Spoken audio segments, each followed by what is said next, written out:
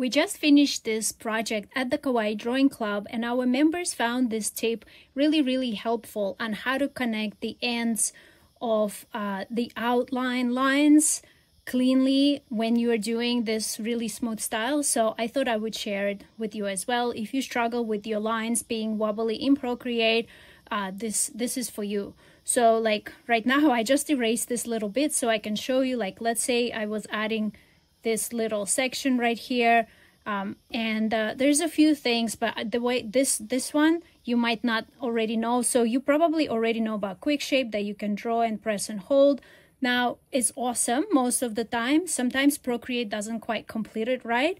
Um, so as long as you're drawing on a new layer like on a different layer not connected to this one or that one and let's say you drew this line and let's say you just did not do the the quick shape, you know, for whatever reason, it's not completing it correctly, and this is not a clean end, and this is not a clean end, and it would be such a pain to erase it.